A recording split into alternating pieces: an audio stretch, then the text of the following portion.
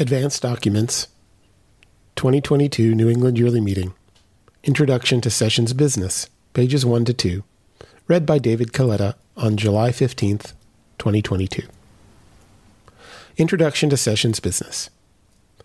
Two years ago, faced with our first ever Zoom business meetings, I put aside much of the standard business, having permanent board deal with a few things putting off a couple of others, and just not doing some that we might normally do.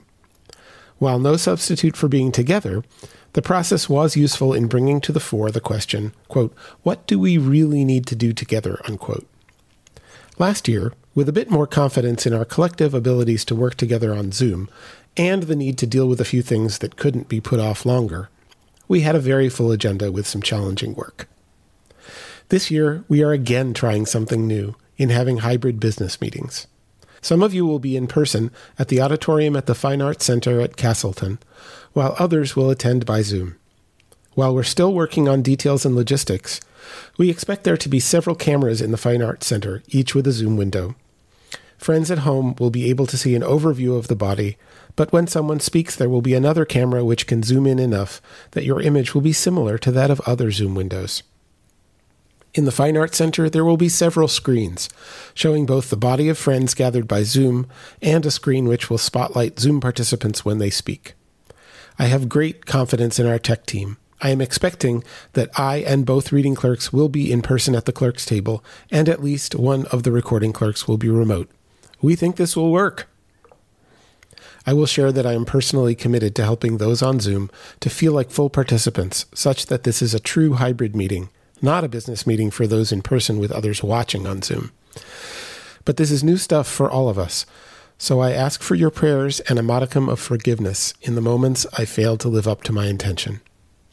Several voices, at least one of them divine, have been reminding me that given the weight of life concerns and experience that friends will be carrying this year, our business sessions should return regularly to worship, which is always intended to be the foundation. Among the business items that we will tend to are considering preliminary approval of the marriage chapter of faith and practice, some recommendations from permanent board about the evolution of how we care for ministry and council concerns, and hearing a report from the Right Relationship Resource Group about the distribution of the letter of apology.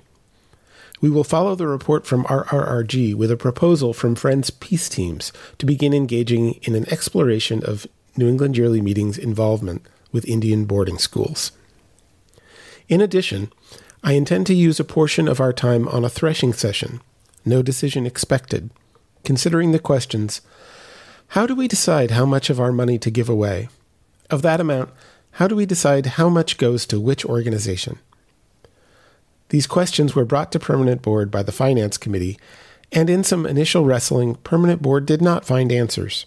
So I'd like a broader group to contribute to the thinking about this. But multiple people have pointed out that this is a question that monthly meetings wrestle with, and individuals as well. Remember, friends, that the meeting for business is at its heart a meeting for worship. While the agenda items give some shape to that worship, we must remember that we come together to listen to the divine, expecting that together we will have a greater sense of where God is calling us. As I like to say, it's okay to bring an opinion to business meeting, but it's not okay to hold it so closely that we do not listen to how the Spirit is moving us.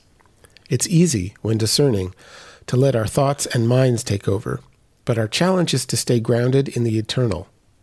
Part of my job in clerking these meetings is to bring us back to a place of worship in moments when we are at risk of losing our sense of a gathered body. Part of your job is to come prepared, both in mind, read the advanced docs, and in heart.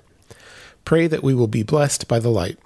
Pray that if you are given words to speak, that you have the courage to do so.